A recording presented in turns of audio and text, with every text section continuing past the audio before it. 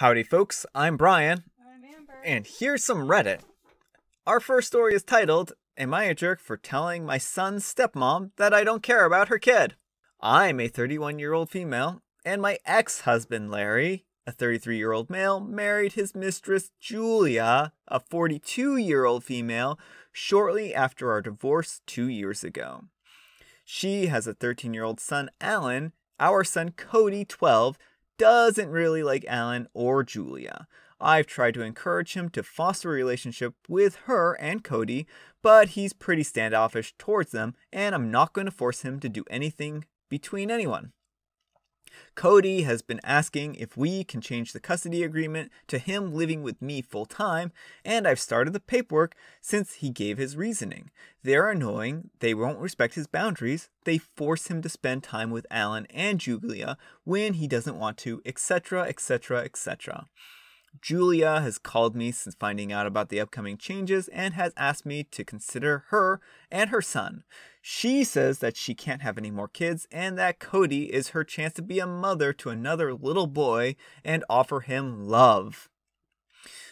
She asked if I really needed less people to love my son, but I told her I simply don't care for her the way she does. She relented and said that if I won't consider her feelings, then consider Alan's, since he can't have another sibling naturally, and that I'm practically stealing his brother from him. Such theft. She suggested that I take Alan every other week so the boys could have some time together. I told her that I really don't care about Alan's feelings. He's not my kid, nor do I feel any obligation towards him. She called me heartless and said that I hope I experience what she has and can't have another kid. I'm already pregnant with my current boyfriend, and I know she knows this, so I know she said it out of hate and spite.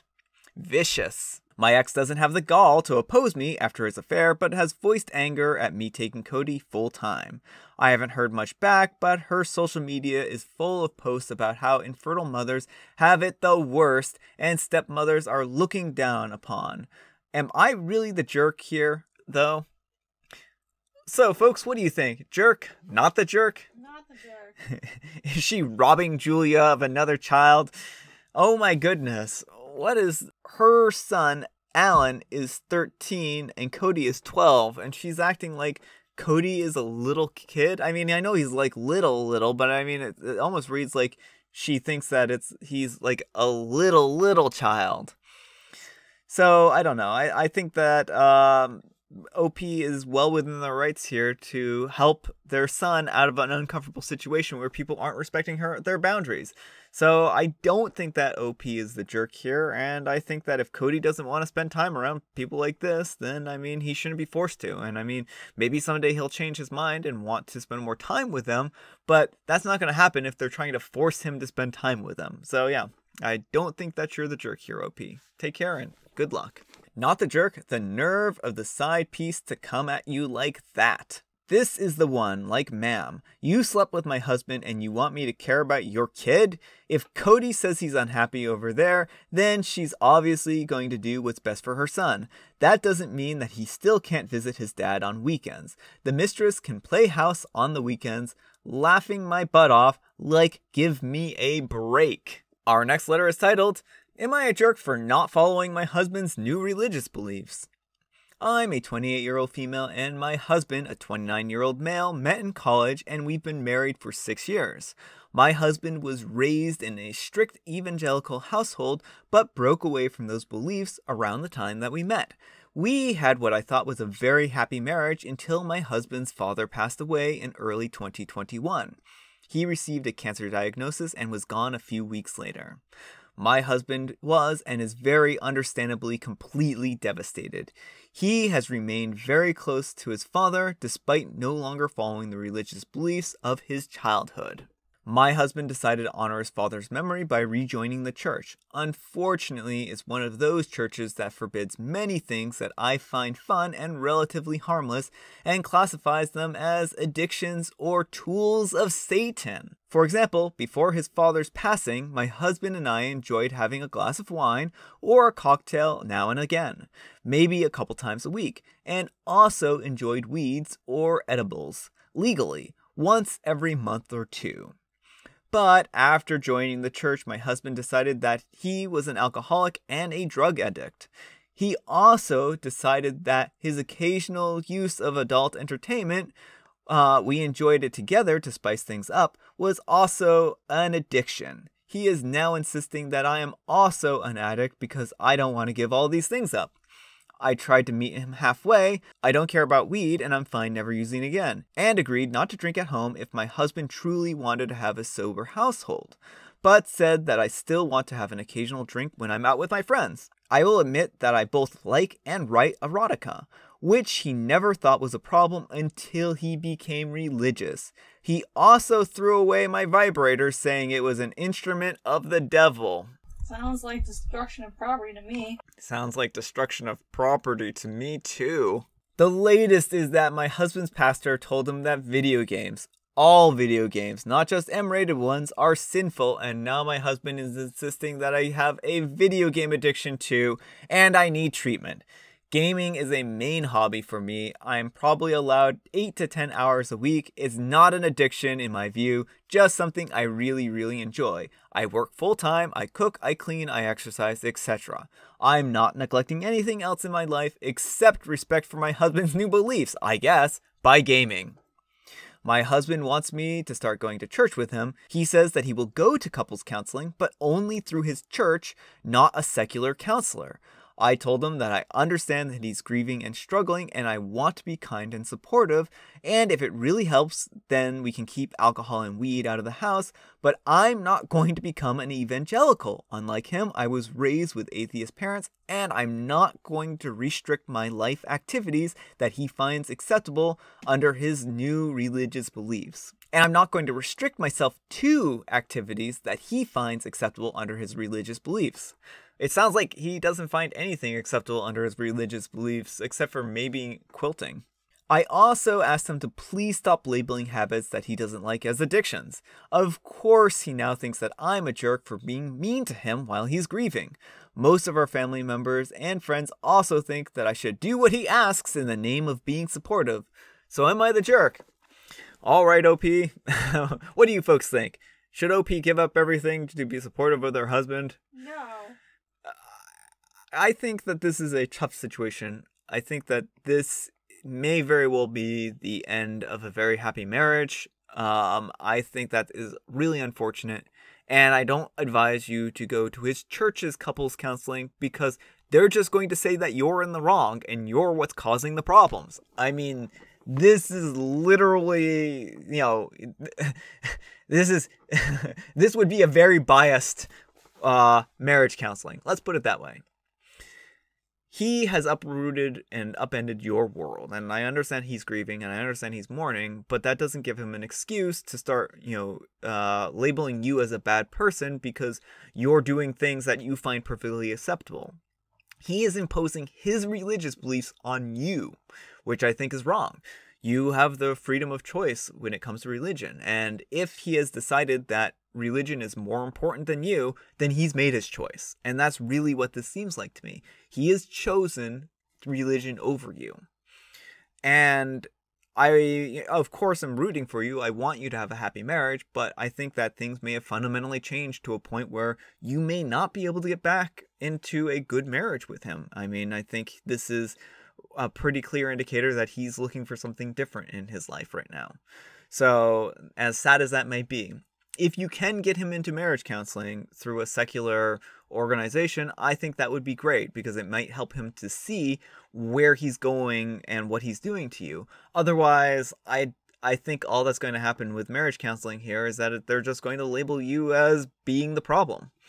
That's kind of my thoughts. So, anyhow, take care and good luck. Not the jerk, you've already made far more concessions to him than I feel like you needed to.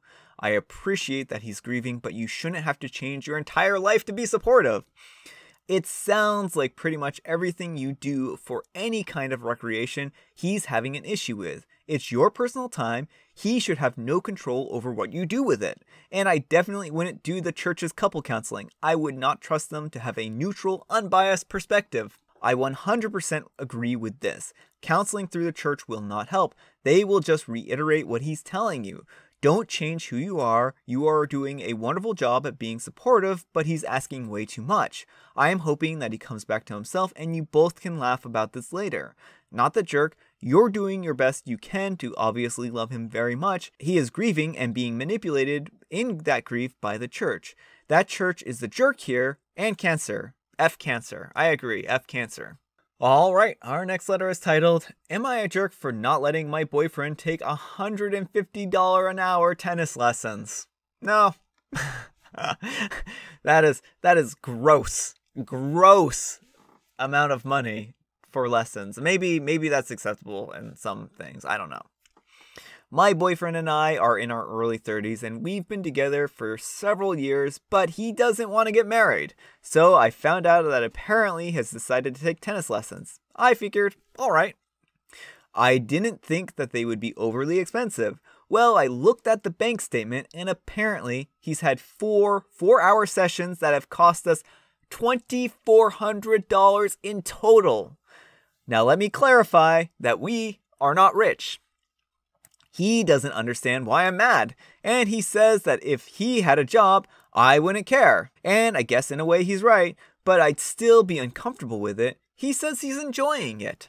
But it's $150 an hour, and for some reason, they're four hours long. That's $600 a session on Tuesdays and Thursdays. That's ridiculous. I agree. Am I the jerk for saying that my boyfriend couldn't take tennis lessons because I can't afford them? I know it sounds silly, but I don't think that sounds silly at all, OP. but I think that I might be since I only really care because it's my money that he's using. And we're supposed to be partners. He proposed, but there's no paper since he didn't want that. But it just rubs me the wrong way. And I did tell him that he could spend my money like his own, but this is sort of contradicting that. As for the what is he contributing question, he literally does everything at home. I mean, every single chore you can think of, from cooking to taking out the trash. There is absolutely no household task that he hasn't already been done when I'm home. It's kind of amazing, honestly. From dishes to mopping, to grocery store shopping, to fixing the steering box on my car. No, I'm not 100% sure that they're tennis lessons, but that's what he said and I trust him. And I'm not going to give him money for tennis lessons anymore. All right, folks, what do you think? The jerk? Not the jerk? Not the jerk. You know, this is a difficult situation. I certainly agree that $150 an hour is excessive for tennis lessons. Surely he can find cheaper tennis lessons for starters, or even just go out to a tennis court and bat around a ball for a few hours if this is what he really enjoys. No tennis lessons needed. Okay, I mean, maybe if he was training to be a professional tennis player, $150 an hour tennis lessons would be a reasonable thing. And maybe it is. I mean, clearly someone's paying that price. But in this particular case, this is something he's doing for entertainment, right? He's doing this as a hobby. He's not trying to further a tennis career out of this. And it seems excessive. It seems like there are probably cheaper options out there. I don't know. I'm not a tennis player. Maybe maybe it is truly like one of these things where, you know, a tennis trainer is a $150 an hour job, you know, across the board. But I, I honestly think that there are probably people who would be willing to teach him tennis at $20 an hour. probably. So I don't know. I think that this is a bit excessive. I think that he took advantage of your whole um, spending his money, your money like his, and I think that's the case here. I think that that, that is taking advantage of the situation. So yeah. Anyhow, take care and good luck. Wait, what? He doesn't work, uses your money, separate finances now. Not the jerk. You will be a jerk if you stay in this manipulative situation, though. And I think OP's comments kind of clarified on that. I, I don't really feel like this is a manipulative situation. I think that he is just uh, very much into tennis lessons. Let's hope that's what he's into. Doing every single chore and leaving nothing for OP to do when she comes home from work is contributing. Exactly. Not the jerk, former tennis pro here. No lessons are $150 an hour, and if they are, there's no way that they're four hours long twice a week. He's doing something illegal 100%, and you need to kick him off your bank account. They're $70 an hour for the head coach at the most reputable place that I know of. I'm sure you could find someone somewhere willing to charge $150 an hour, but you'd almost have to go out of your way to find someone that expensive. So it looks like folks think that this is actually not a reasonable price for tennis lessons. So yeah. All right, folks, that's all the time we have for today. I hope you enjoyed today's video. If you did, consider giving me a like. And if you didn't, consider giving me a dislike. Thanks so much for watching, and I'll see you all tomorrow.